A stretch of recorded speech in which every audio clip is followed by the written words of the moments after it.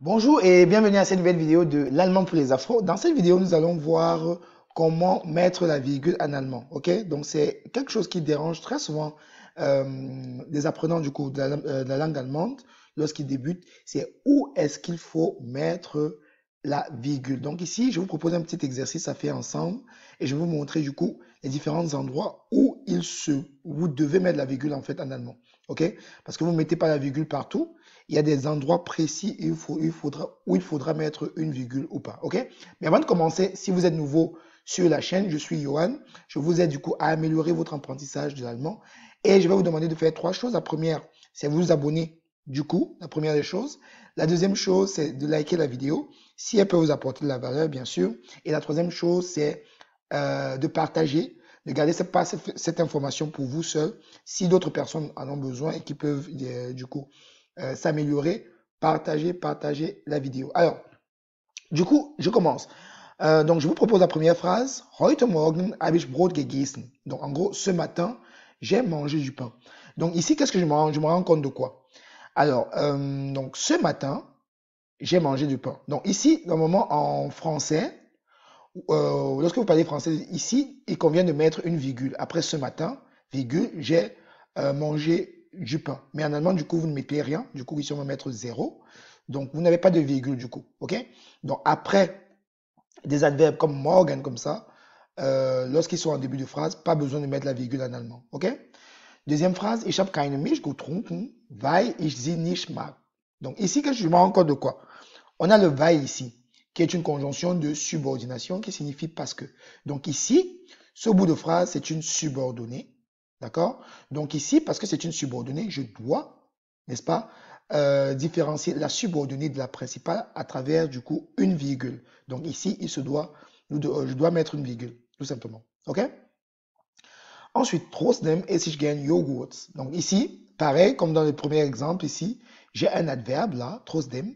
Donc, à la différence du français, j'ai pas besoin de mettre de virgule. Donc ici, ce sera zéro. OK? Seit lang liebe ich Schokolade, denn sie. OK? Donc, depuis longtemps, j'aime le chocolat car euh, c'est sucré.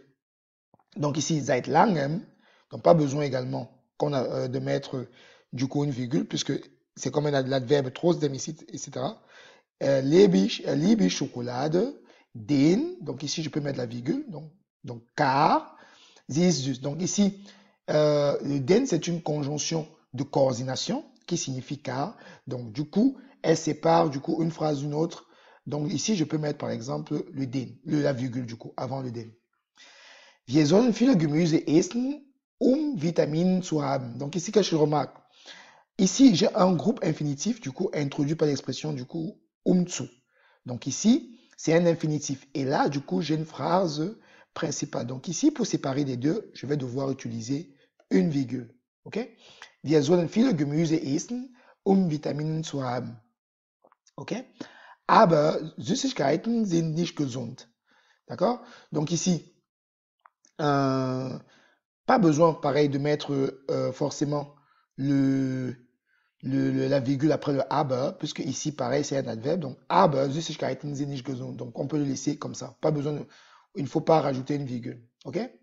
Dagegen sind Früchte süß und gut, weil sie Vitamine liefern. OK? Dagegen, pareil, c'est un adverbe ici. Pas besoin de rajouter euh, la virgule. Sind Früchte süß und gut.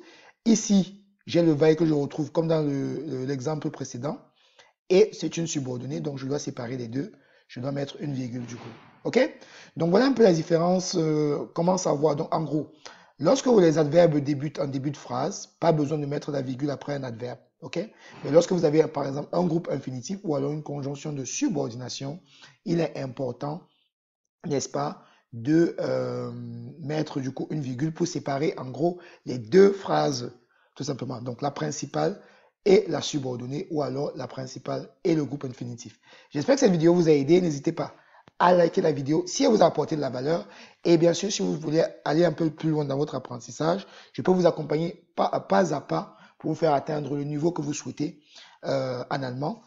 N'hésitez pas, si vous le souhaitez, je, euh, me contacter. Vous avez mon, mon mail dans la barre de description si vous êtes sur YouTube. Merci de m'avoir écouté et à très très bientôt pour une nouvelle vidéo de l'allemand pour les afros.